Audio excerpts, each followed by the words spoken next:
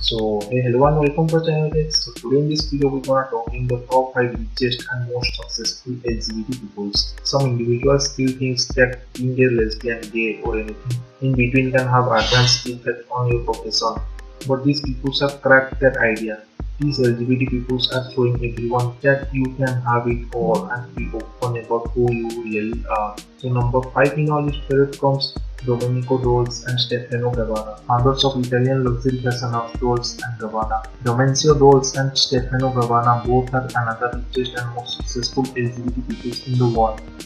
Dolce and Gabbana were an open couple for a long period of time. Following their success, both lived in a 19th century villa in Milan and owned numerous properties on the French Riviera both ended their long-term relationships, but the pair still works together at DNC. Number 4 in our list comes the Peter Thiel, American entrepreneur, venture capitalist, politician, activist. Peter Thiel served as PayPal's CEO from its launch until its sale to eBay in October 2002. As an gay person, Thiel has also supported a lot of LGBT rights causes such as the American Foundation for equal rights and go proud over the years. Number 3 knowledge share from Michael Kors.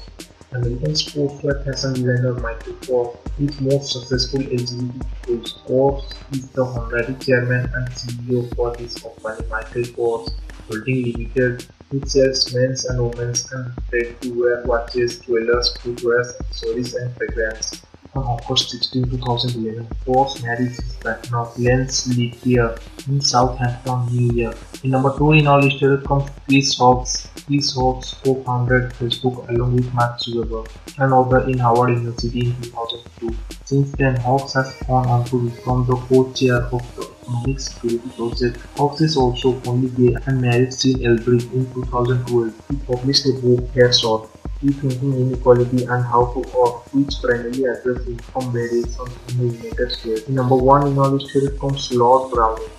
One of the richest and most successful LGBT people, Lord Browning is the CEO of British Petroleum, the oil and gas company that is notorious in the media for its involvement in masculine games.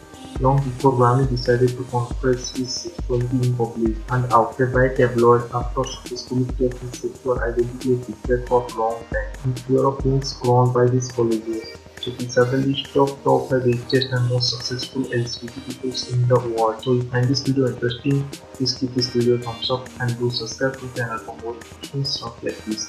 So see you guys in the next video. Till then, bye.